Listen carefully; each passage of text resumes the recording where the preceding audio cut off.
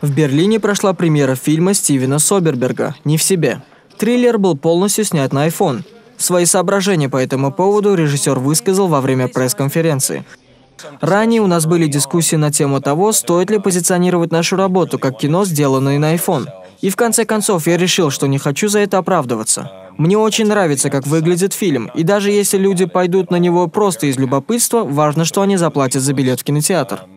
Эксперимент оказался настолько удачным, что режиссер и дальше планирует использовать эту технологию производства. Позже, стоя на красной ковровой дорожке, Стодерберг сказал, как ему в голову пришла идея использовать смартфон и разные линзы для камеры аппарата.